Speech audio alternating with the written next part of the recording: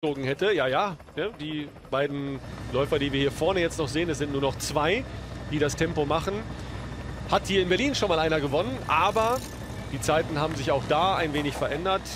Hier gab es eine klare Ansage, wollt ihr Tempowacher sein, dann bitte lauft die entsprechend vorgesehenen Kilometerzahlen, aber lauft nicht zu Ende.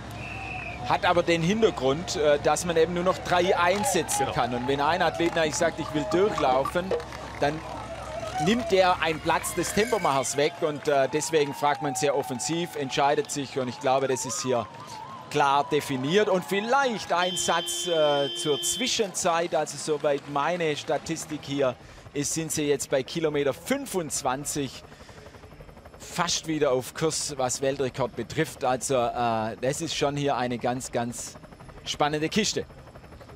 Heiße Angelegenheit, deshalb jetzt auch äh, zwei Tempomacher und das sind äh, Jungs, die perfekte Bedingungen hier zum Marathon laufen.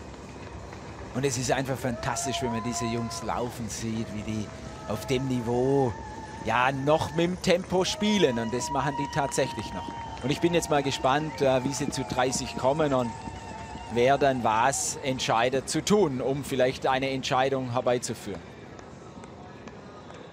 Wobei nochmal das Tempo unglaublich hoch.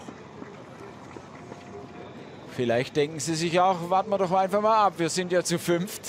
Es hemmt vielleicht den Weltrekord, aber es ist umso spannender, wenn es dann taktisch wird für den Ausgang. Von Wilson Kipsang. Für mich macht hier Dennis Kimetto immer noch einen grandiosen Eindruck. Man kann nicht reinschauen, das ist Ja. klar, aber man versucht ja immer zu interpretieren. Wie sah der vorhin aus? Was für einen Stil hat der? In jedem Fall müssen wir noch mal unterstreichen, es geht hier um eine ganz außergewöhnliche Leistung, auf die die Jungs hier zustreben. Das ist nicht aller Alltagslaufen, das ist auch nicht irgendein Straßenlauf, sondern das ist der Marathon weltweit, der Berlin-Marathon. Und man sieht jetzt mal die zwei Gesichter, Pacemaker und äh, äh, Dennis Kimetto. Dennis Kimetto. Ist ja ein Unterschied. Der Pacemaker ist jetzt am Limit. Er, er weiß genau, ich habe noch ein, zwei Kilometer, vielleicht auch drei. Und er, er sieht ja souverän aus, wie alle anderen. Die für jetzt der Anschluss verloren wird, dann ist es äh, ziemlich schwierig, je länger das Rennen dauert. Deswegen äh, Die verabschieden sich jetzt da gerade. Jetzt Ja, gerade ciao, ciao. Äh, äh, auch beide, äh, auch ungewöhnlich, muss ich sagen. Normalerweise äh, hätte man natürlich schon gerne gesehen, wenn noch der eine Tempomacher einen Kilometer weitergegangen ist. Aber tolle Arbeit. Und äh, Mutai, ich glaube, es ist er, Ja, äh, der scheint sozusagen in der ersten Euphorie jetzt doch das Zepter in die Hand zu nehmen. Und man sieht auch jetzt Getränkesituation. Der eine hat nach der Flasche gegriffen. Äh, es wurde unruhig und, und jetzt wird es schwierig, diese Lücken wieder zuzumachen. Und ich kann mir vorstellen, dass seine beiden Kinder, Tony und äh, Alain, die sind vier und sechs zu Hause jetzt ausflippen, wenn sie sehen, dass Papa hier an die Spitze stürmt. Den Anschluss da kurz verpasst. Der hatte ja schon zwei, dreimal Probleme Ja, aber sein an Blick, der Verpflegung. Ja, sein Blick, Blick ist ein ist ein anderer Blick, sein Blick ist ein fokussierter, der zieht sich da ran. Am seidenen Faden, sagen wir immer so schön, den sehen wir jetzt nicht, aber er sieht ihn und das ist wichtig. Ich bin davon überzeugt, er kommt wieder rein. Und wir reden hier, Sie sehen das, grüner Bereich, 24 Sekunden unter Weltrekordtempo. Kamboror, der Mann, der zeigen will, dass er in Berlin auch ganz nach vorne laufen kann. Okay, jetzt, jetzt lassen wir mal diese Körper-Kaffeesatzsprache sein. Tai und setzt die nächste Tempospritze und wir bewegen uns schon. Schauen Sie sich das an, in absolutem Weltrekordtempo. Das ist der reine Wahnsinn, Und was wir hier ist sehen. natürlich. Ich bin mal gespannt, ob dieses Konzept, man sieht mal die Split Times, ja, 250, 246, 246. Also hier haben sie So, hier sehen wir das nochmal. Jetzt hat äh, die Weltrekordplakette Rückstand auf die Führenden und es geht in die Entscheidung. Kamvo Rohr, der muss jetzt kämpfen, damit er hier dran bleibt, denn Kimetto setzt den nächsten Akzent. Nochmal eine Tempoverschärfung von dem Mann, ich sag's ja ungern, Dieter, aber den ich äh, für den Stärkeren halte. Alle drei sind stark. Alle drei sind stark. Das muss man wirklich Absolut. sagen. Egal wer das hier für sich entscheidet, das ist absolut irre, absolut top. Wettkampf, Wettbewerb und äh, auch so früh, dass äh, Kimetto so früh jetzt Entscheidungen sucht, gilt für alle drei, die ja immer wieder sich zeigen. Es sind ja noch eine ganze Strecke zu laufen. Es ist Weltrekordtempo, also 45 Sekunden schneller. Das heißt, für die zwei. Die stammen aus ärmlichen Verhältnissen, die haben in ihrer Karriere schon dafür gesorgt, dass ihre Familien jetzt Wasseranschluss, dass sie jetzt elektrischen Strom haben. Das sind die Basisvoraussetzungen, über die wir hier reden. Wir reden hier nicht über eine behütete Jugend, die die durchlaufen haben äh, oder geordnete Verhältnisse zu Hause, sondern die kommen aus Situationen, die als schwierig zu bezeichnen sind. Und vielleicht muss man auch aus diesem Hintergrund kommen, um den Kampfgeist und, und den Geist des Laufens so in sich zu haben, wie die beiden hier, Mutai und Kimetto. Die machen das hier, wenn nichts weiter täuscht, unter sich aus. Also was, was eindeutig ist, glaube ich schon. Beim Marathonlaufen, beim Langstreckenlaufen geht es auch um ein Stück Leidensfähigkeit. Wie groß ist meine Leidensfähigkeit? Und so hart es klingt, äh, ist sozusagen das einzugehen. Und hier kommt... Und vergrößern den zeitlichen Vorsprung auf die Weltrekordmarke.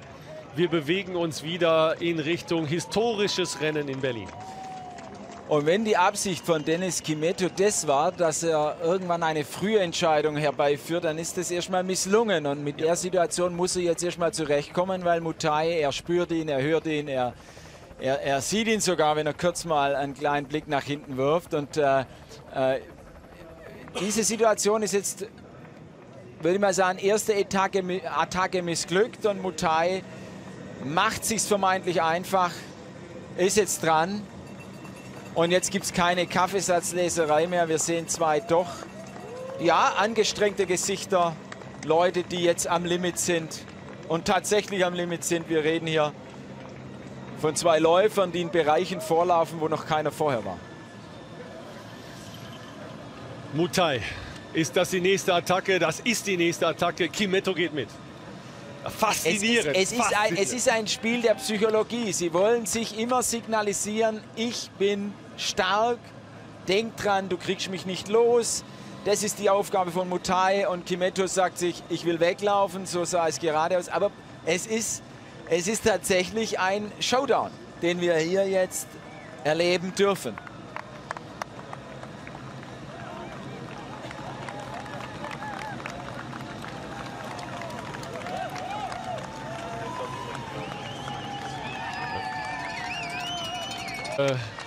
In Richtung der Entscheidung, in Richtung des Ziels. Kimetto macht noch mal zwei, drei schnelle Schritte vorne.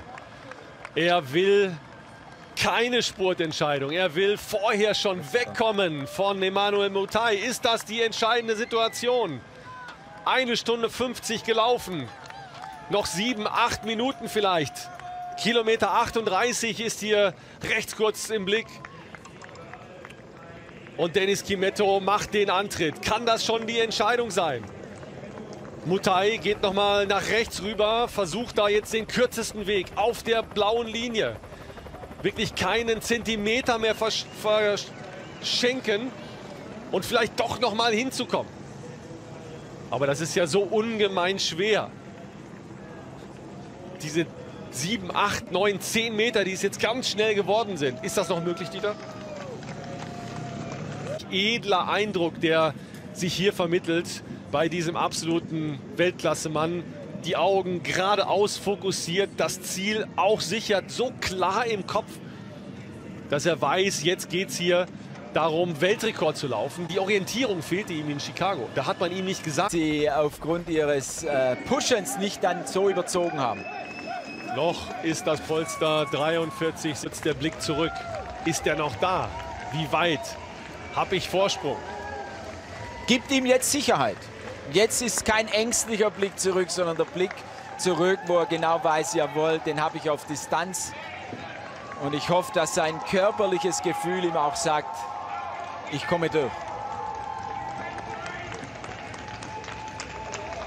Drei Minuten, langsamer geworden jetzt. Ein absoluter Kunden ungefähr der Abstand von Kimetto zu Mutai. Die haben sie jetzt auch noch mal verloren. Also auch in Richtung Weltrekord wird das schon noch eng. Auf den... Oder nicht. Ein phänomenaler Athlet hier. Beide. Und auch wir springen jetzt hier schon mal auf, weil jetzt können wir ihn dann gleich leibhaftig sehen. Den Dennis Kimetto, da kommt er angetanzt. Versucht hier nochmal Druck zu machen, sowas wie einen Endspurt hinzulegen. Der Abstand täuscht. Maimano Motai ist weiter weg. Der wird hier Zweiter werden in einer überragenden Zeit ebenfalls. Wir sind auf der Zielgeraden. Das ist die Perspektive eben. Die Zuschauer schütteln den Kopf hier so schnell und so früh. Das hatte keiner zu träumen gewagt. Er stürmt hier an uns vorbei. Dennis Kimetto auf dem Weg zum Weltrekord. Und es wird die erste Zeit unter zwei Stunden und drei Minuten. Ein Stück Sportgeschichte eingerissen von Dennis Kimetto. 2.02, 57. Unfassbar, unfassbar. Der zweite kommt auch angestürmt. Emmanuel Mutai. Auch der bleibt unter dem alten Weltrekord. Es ist sensationell. 2-0-3-13. Überragendes Ergebnis. Die beiden Laufhelden von Berlin. Dennis Kimetto, der neue Held. Und Emanuel Mutai haben sich gegenseitig zu dieser unfassbaren Leistung getrieben. Das ist Marc Milde, der Mann, der so schlecht geschlafen hat und jetzt am Ziel der Träume ist für jeden Marathonveranstalter. Die können sich noch gar nicht freuen. Da sehen wir, wie die alles aus sich rausgepumpt haben, den letzten Tropfen Energie rausgepresst haben. Er hat sein Glücksarmband um Denis Kimetto geschenkt bekommen von einem Freund und er ist der neue Weltrekordhalter und er kann es noch nicht realisieren. Es ist alles noch viel zu, viel zu unter dem Eindruck dieses unglaublichen Rennens. Jetzt